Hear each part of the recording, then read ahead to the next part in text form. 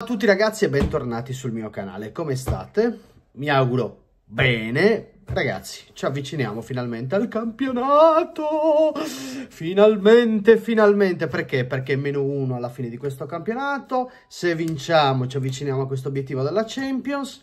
Altrimenti, comunque qualcosa da dire c'è. In queste due settimane c'era ben poco da dire, però qualche provocazione di mercato, qualche suggestione c'è e parliamone insieme, commentiamo insieme queste notizie senza avere la presunzione di dire ah, questo arriverà di sicuro alla Juve, questo no, quest'altro sì e sarò unpopular per un'opinione in particolare.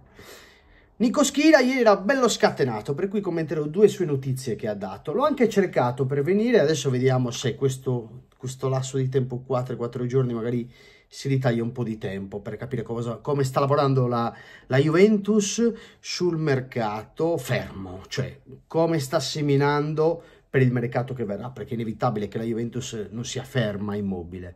Però prima di iniziare vi invito ovviamente a iscrivervi al canale se ancora non l'avete fatto, che è importante, e vi invito a commentare, ditemi le vostre opinioni sotto che poi vi leggo, che poi prendo spunti per i prossimi video, se avete una pillolina tac la prendo la faccio mia per il video successivo e ci crea un bel discorso quindi mi raccomando la prima notizia è legata a delle parole che sono arrivate da Tiago Motta Tiago Motta ha parlato per l'interessamento delle altre squadre, tra cui la Juve, c'è anche il Milan, ci sono altre squadre interessate a lui, ha parlato di questo interessamento delle big, ok?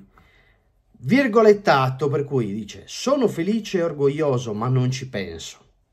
È un gran piacere il riconoscimento che hanno per la squadra, ma non solo per i risultati che finora sono buonissimi, quanto per la maniera con la quale li stiamo conquistando sul campo. Per cui mi fa piacere, non ci penso, che è un po' una contraddizione in realtà, no? Se ti fa piacere un po' ci pensi, di conseguenza, nel senso, non ti condizionano mi fa piacere, ma questo non mi condiziona, sono concentrato sul presente, ecco, forse questo è il senso. È un, è un grande piacere il riconoscimento delle squadre, che hanno per la squadra anche intende per il Bologna, non solo per i risultati che sono finora buoni, ma anche per il modo che ho di raggiungerli, per cui vengo anche giudicato sul come. E sul come ci sarebbe tanto da dire su Tiago Motta. Molti pensano ah, che sia il classico fer- con, con i paraocchi tipo cavallo che va dritto e via, non si muove. Invece no, è un allenatore che sa adattarsi, è pragmatico, che nei momenti difficili studia la situazione che può, secondo me, eh, svoltare quella partita, può secondo lui in realtà svoltare la partita.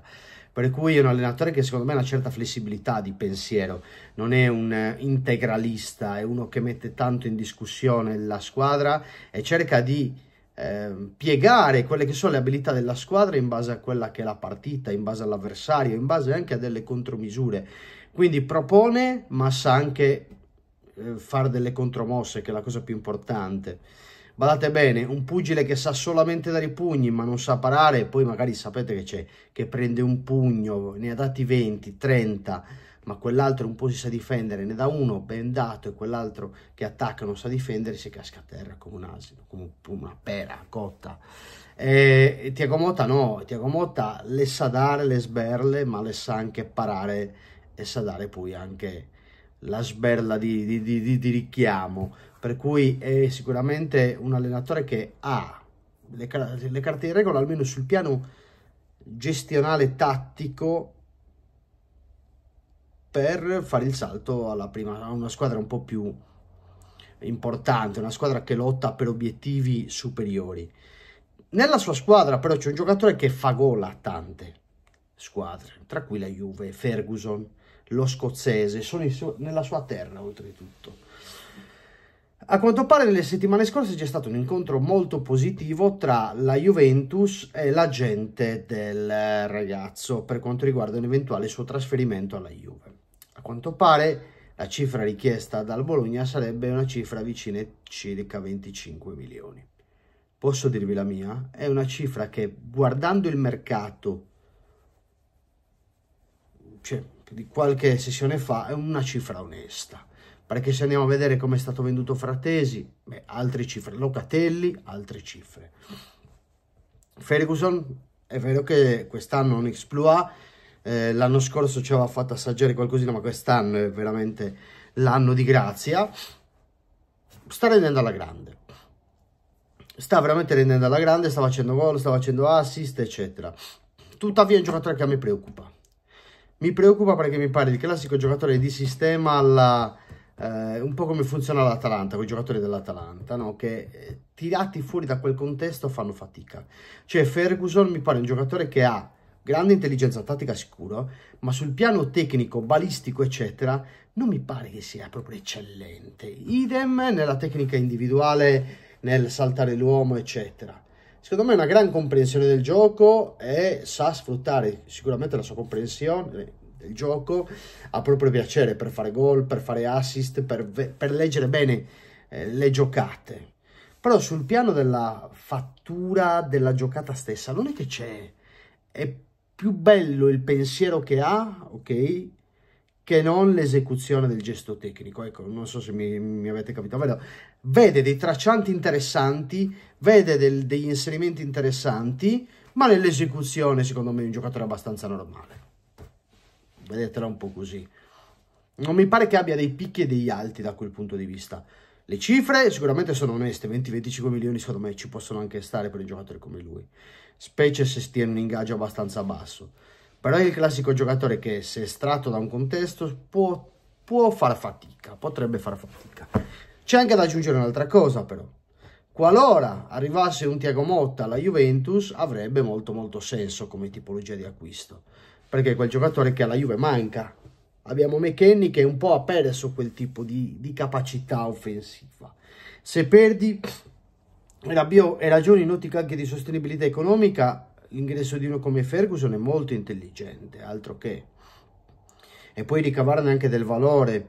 Poi magari mi sbaglio io nell'analisi che ho, perché è fatta da un mio giudizio, per cui questa analisi è viziata da quella che è la mia opinione su Ferguson magari non è così, diventerà un giocatore straordinario e a quel punto la Juve prende e si trova un centrocampista della Madonna. Ben venga, ma ben venga, felice di essere smentito.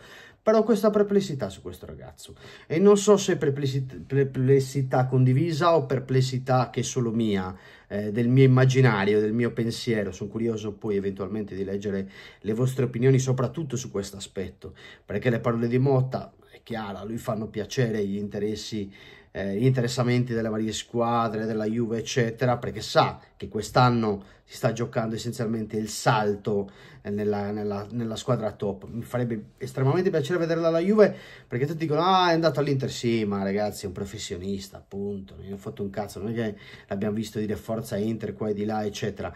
Ha delle recensioni, delle review tipo TripAdvisor da parte dei suoi ex colleghi sulla conoscenza che ha di calcio, Tiago Motta, che basterebbe quello, ecco, per avere un po' di fiducia da quel punto di vista. Poi uno, ragazzi, vuole vincere anche l'allenatore. La squadra conta fino a un certo punto. Cioè, questo qua è partito dal Brasile, ma secondo voi si è affezionato poi all'Inter solo perché ha vinto la Champions? Per carità, rimane un pezzo di carriera importante e ci sarà un legame con quella squadra, ma non significa essere anti-juventino di riflesso, tutt'altro. Gli allenatori intelligenti, i professionisti intelligenti, lasciano sempre le porte aperte. Signori, questo è tutto. Vi aspetto nei commenti, che sono curioso di leggere, perché sono curioso. Ci vediamo più tardi. Ciao belli.